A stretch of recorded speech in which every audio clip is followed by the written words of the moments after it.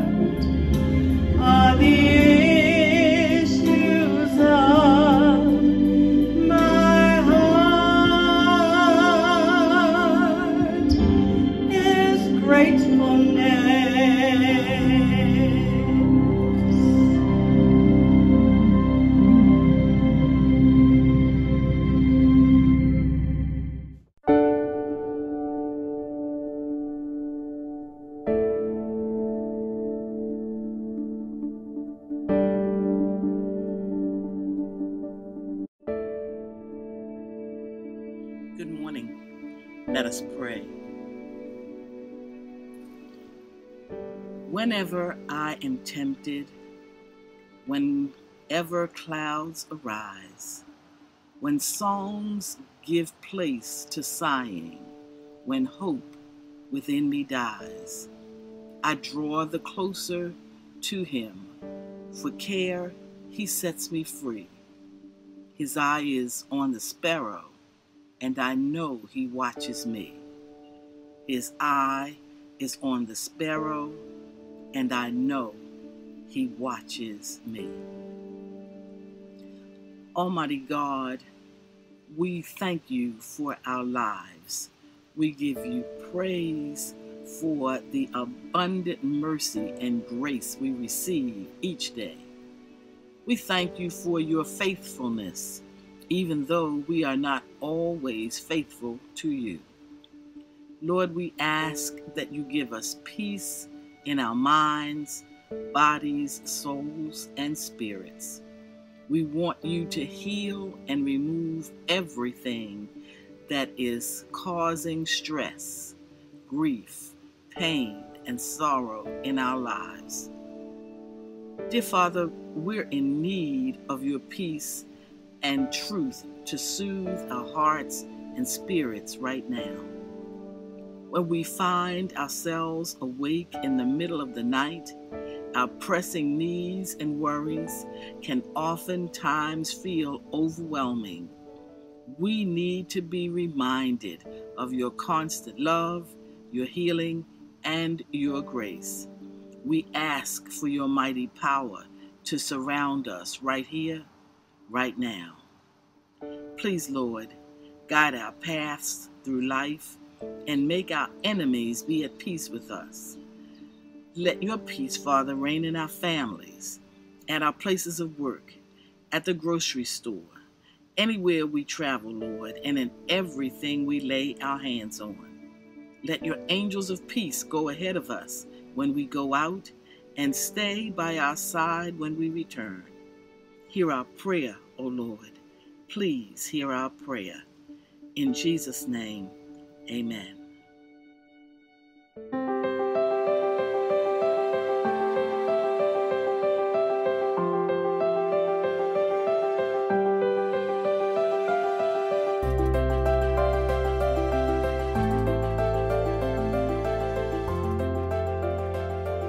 We want to first thank you for what you have already given to this ministry. And we want to thank you for just sowing a seed into this ministry. And we thank God because ministry still goes on. We thank God for our outreach ministry that's still out in the community and making that impact for the kingdom of God. Here at Christ United Methodist Church, there is four ways in which you can give. You can go to our website at www.christumc21213.org. That's www.christumc21213.org. You can also download the app Givelify. You can download the app Givelify on your smartphone and look for Christ United Methodist Church, Baltimore City. You can also text to give. You can text the word give, that's G I V E, to 410 632 6452. Again, text the word give to 410 632 6452. And also, there is still snail mail. You can still use mail. You can um, mail your check to 2005 East Chase Street, Baltimore, Maryland 21213. That's Christ United Methodist Church, 2005 East Chase Street, Baltimore, Maryland 21213. And you can write your checks out to Christ United Methodist Church. We thank you already for your giving. Let us pray. God, we just thank you, God, for the many gifts in which you have already given us. We pray, God, in the name of Jesus, we here at Christ United Methodist Church, that we will be good stewards over that which you have trusted in our hands. We pray, God, in the name of Jesus, that it be used for the upbuilding of your kingdom here on earth. It's in your name that we pray. Amen.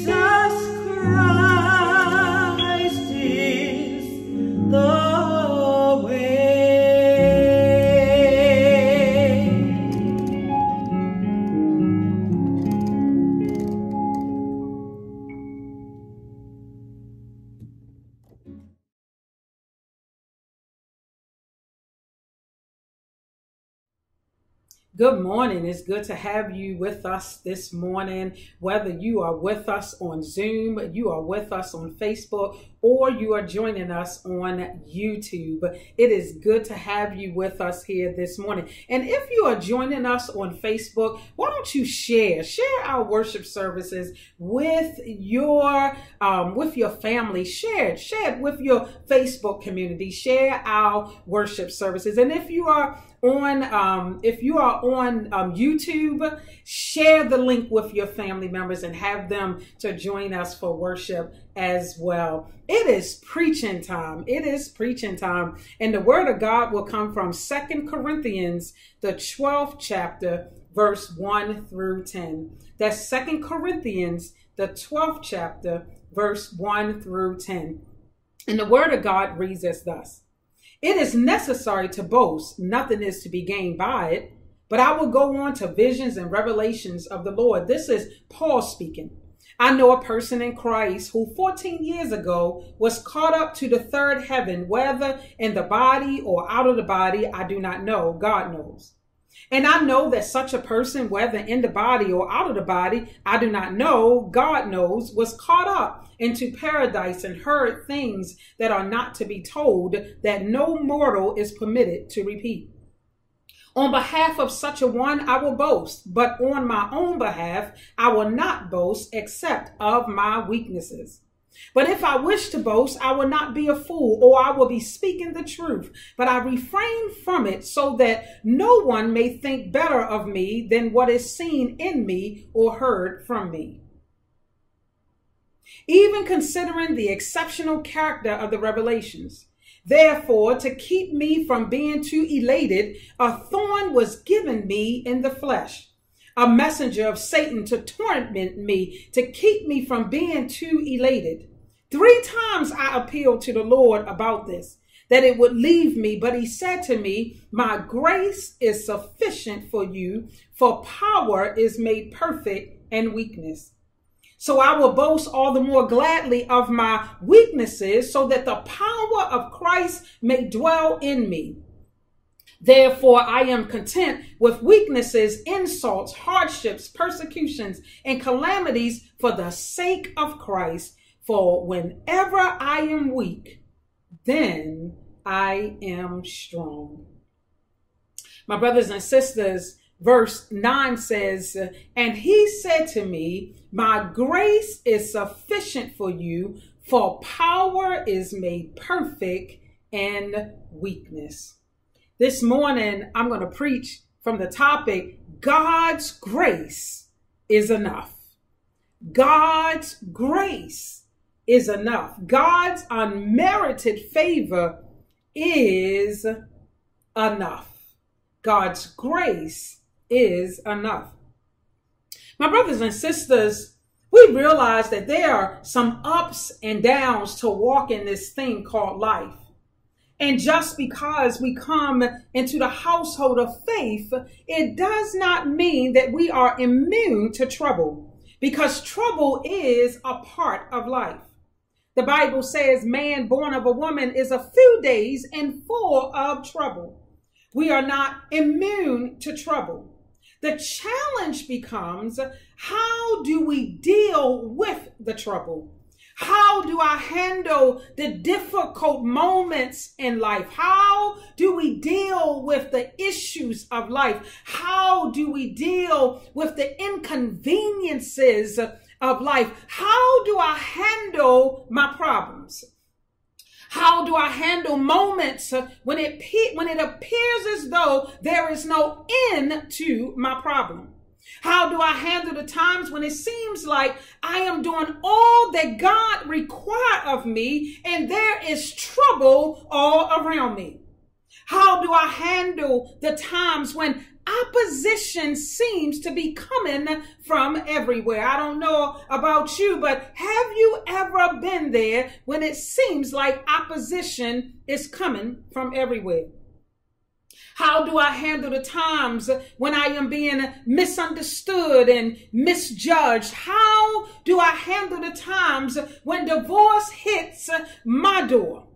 How do I handle the times when I'm faced with unemployment? How do I handle the times when depression has threatened to take me down? how do I handle the times when the trouble in my life is just driving me crazy and mentally I am drained? How do I handle those times? How do I handle the times when it appears as though God is not answering my prayers? How do I handle those times, my brothers and sisters, when what I'm going through is threatening to make me angry, is threatening to make me bitter, is threatening to make me hateful, is threatening to, is, is threatening my character, is, is, is threatening to destroy who I am and make me someone I do not want to be. Paul said it best when he said, For I do not do what I want, very thing that I hate. How do I handle those times? For there are times, my brothers and sisters, when the pain of dealing with hurt and disappointments in our lives make us, makes us bitter. It becomes unbearable and we wonder if we can take it any longer. There are times when we go through things that will challenge our faith. It will challenge who we are and who we say we are. How do we handle those times? We live day by day with our minds sometimes in a fog because we are unsettled in our spirit. How do I handle those times? Those times when we cry to God, wondering when God is going to move the obstacles that we perceive to be hindering our progress in life. How do we handle those times?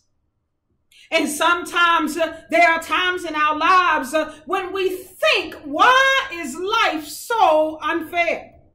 Why is it that things do not always go the way that I planned? Why is it that things do not always go the way in which I've prayed and asked God for? How do I handle the disappointments when it seemed like even God has disappointed me? Every time you turn around, something is always holding you back. How do I handle the pain and disappointments of life? My brothers and sisters, in the 12th chapter of the book of Corinthians, Paul gives an account of his life at its highest and at its lowest. Because there are times in our lives when we feel like we are on the mountaintop, but there are times in our lives when we feel like we are in the valley. Paul stated Paul started the chapter talking about a man that was caught up in the third heavens. He gives an account of this amazing experience that he himself had talking of himself in the third person. Paul, Paul said 14 years earlier, he had a vision and, it, and in that vision, he was caught up into what he called paradise. He heard things that, that, that are not to be told that no mortal is permitted to repeat. I'm sure that was a good time in Paul's life. And then immediately, my brothers and sisters, after speaking of his highest moment, he began to speak of his lowest moment.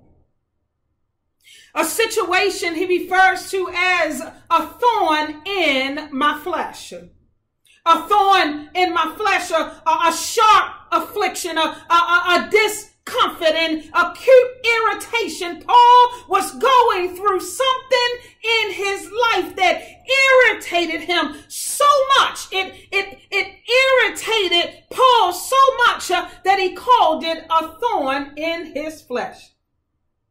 My brothers and sisters, nobody knew or nobody know what Paul's affliction was. Nobody knew what Paul's thorn was except Paul and God. Theologians have argued for centuries uh, trying to figure out the cause of Paul's thorn in his flesh. Some have argued that Paul was faced with physical weariness.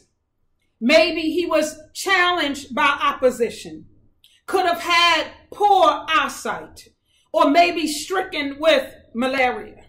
Nobody know what Paul was going on, was going through. We can only speculate what God, what, what Paul was going through. We do not know what it was Paul was dealing with at the time, but whatever it was, it bothered him so bad that he took it to the Lord three times. Not one time, but three times. My brothers and sisters, have you ever had something in your life uh, that you took to God and you, you, you, you kept taking it to God and you kept taking it to God and you kept taking it to God? God, if you will only relieve me from what I'm going through. Paul took it to the Lord three times. Paul had gone through hard times before, but it was something about this time.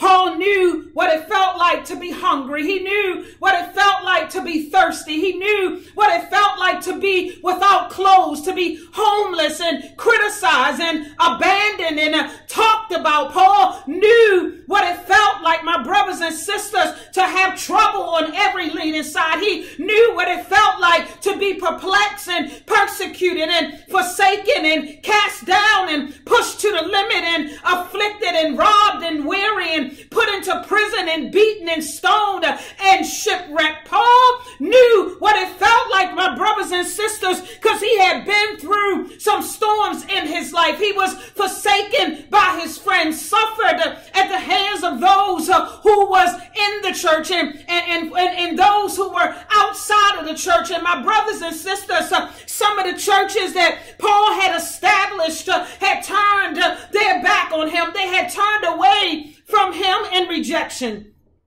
And when we read chapters 10 through 13 of Second Corinthians, we notice that Paul was under attack. He was, he was hurt and insulted as never before his appearance, his speech, his apostleship, his honesty had been under attack. But it appears as though nothing he suffered up to this point bothered Paul as much as this situation that Paul called a thorn in my flesh. Let me say that again. It appeared as though nothing up to this point bothered Paul as much as this situation that he called a thorn in my flesh. And Paul wanted God to, to take it away. The Bible says, three times I appealed to the Lord about this, uh, that it will leave me. My brothers and sisters, uh, have you ever been through some things uh, life and you prayed for God to take it away. Take it away, Lord. Take it away. Have you ever been through some things that you cried and you asked God to take it away? Have you ever been through some things uh, and you knew that this time uh, was the moment when your problems uh, would take you out? Uh, you had it on your mind uh, all day long. You cried to God all night long. Couldn't shake it. Tried to get rid of it. And you wanted God to take it away. Take it away, God. Take it away, God. I can't handle Uh, what I'm going through. And like Paul, you said, I can't handle what I'm going through. It's a thorn uh, in my flesh. Uh, and you wanted God to answer your prayers. Have you ever been through some things in your life and you pray to God three times? God, take it away.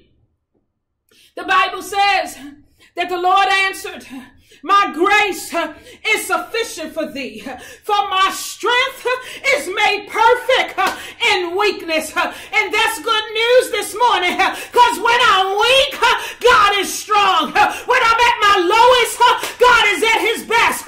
When I'm going through something, God is right there with me.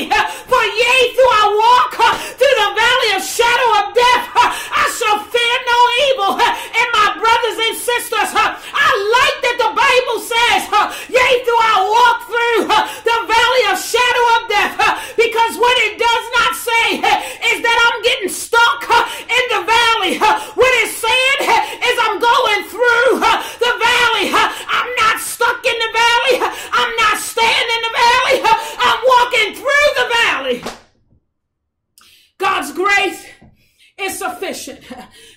unmerited favor. See, it's not something that you can pay for or work for or borrow. God's unmerited favor is like someone who, who receives an unmerited honorary degree and they did not work for it or earn it. It was given without the, the usual requirements and duties or privileges. It's just that. It's unmerited. And I thank God for God's unmerited favor. I ain't did anything or I haven't did anything in my life to deserve it. Not that I'm so good. Not that I've got all my I's. Not that I cross all my T's. But it's God's unmerited favor in my life. My grace is sufficient for you. The Lord said, My grace uh, is sufficient for thee, for my strength uh, is made perfect uh, in your weakness. Uh, my brothers and sisters, if you're weak this morning, uh, I want to let you know uh, that God, that God's strength is made perfect in your weakness. God's sustaining power is made perfect in your weakness. Sometimes, my brothers and sisters, God don't spare us from the hurt and the pain, but He gives us the ability to go through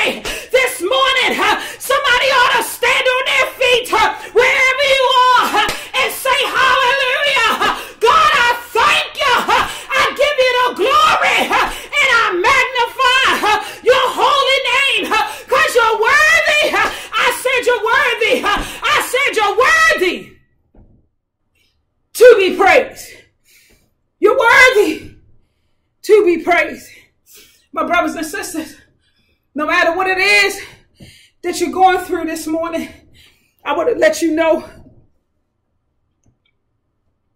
that God's grace is sufficient for you. For God's power is made perfect in weakness. In our weakness. That means when I'm at my lowest, God is at God's strongest in my life. When you're at your lowest, whew, thank you, Lord. Hallelujah this morning. When you're at your lowest, let me tell you, it is God. You might not see it, but guess what? It is God that's keeping you.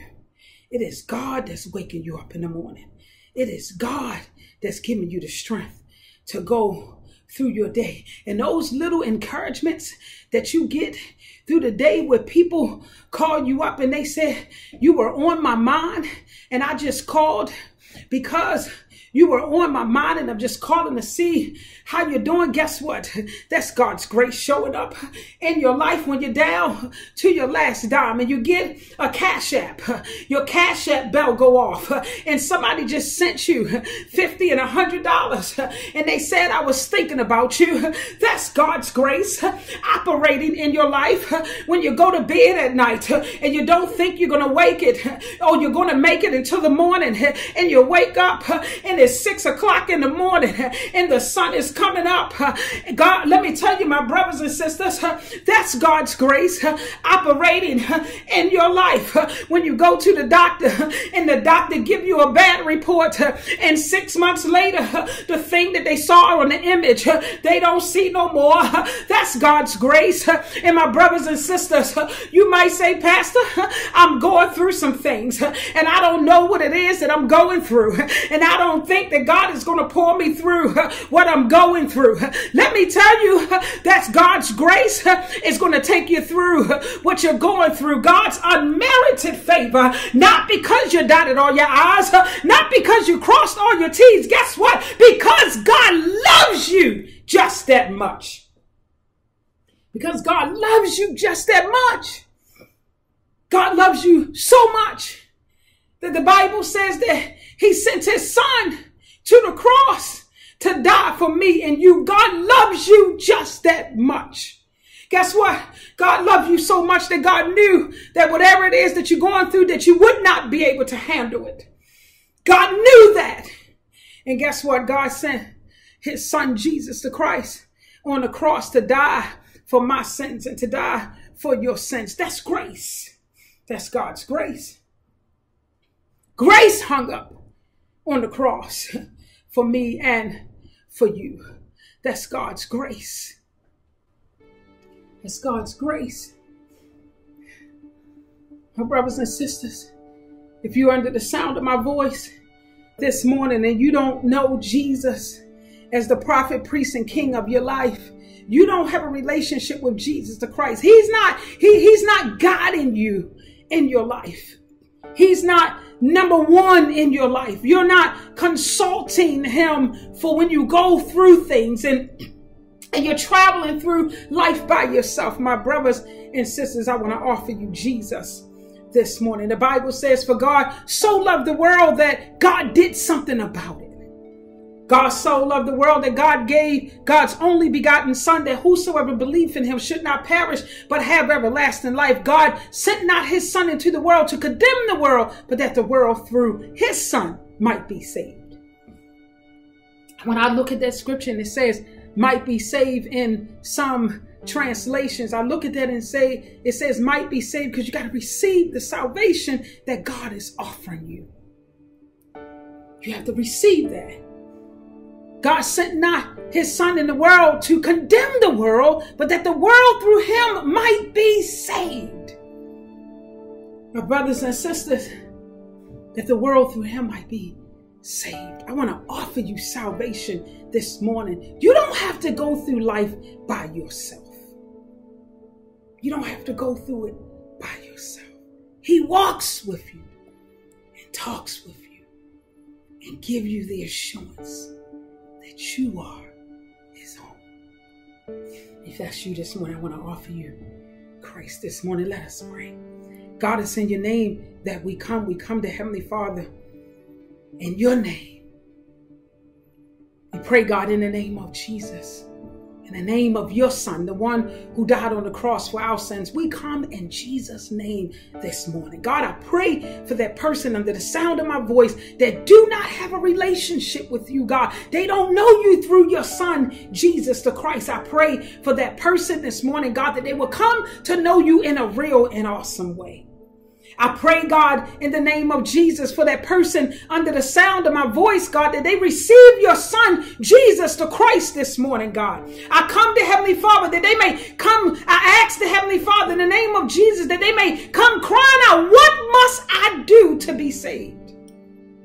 I pray for that person this morning. If that's you under the sound of my voice, I'm praying for you this morning that you will come to know the Lord.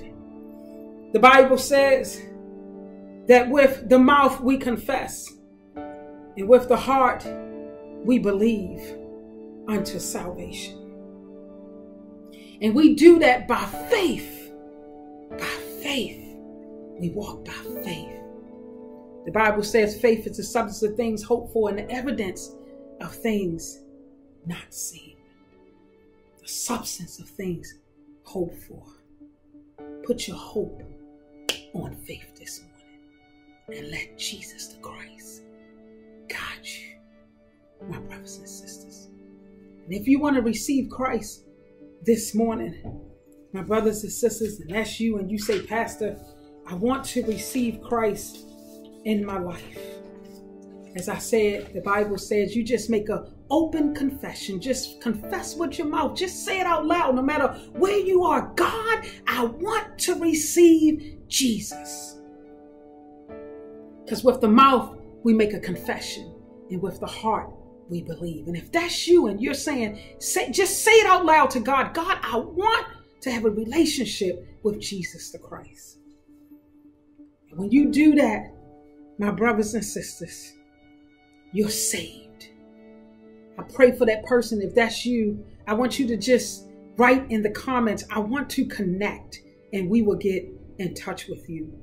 Just write in the comments, I want to connect. And, or, or you can call our, our, our church at 410-732-5600. Call the church and somebody will give you a call back. Leave your name and leave your number. Or you can email the church at cumchurch at verizon.net. That's C-U-M-C-H-U-R-C-H at verizon.net. Amen. God bless each and every one of you this morning. My prayer for you as we dismiss this morning is that you just remember that God's grace is sufficient. No matter what it is that you're going you're going through this morning, that God's grace is sufficient for whatever it is that I'm going through. God's sustaining power is with me as I go. Now may the love of God and the grace of our Lord and Savior Jesus the Christ and the sweet communion of the Holy Spirit rest, rule, and abide with you today, henceforth, and forevermore. All the people of God say amen. Let the church say amen. God bless you.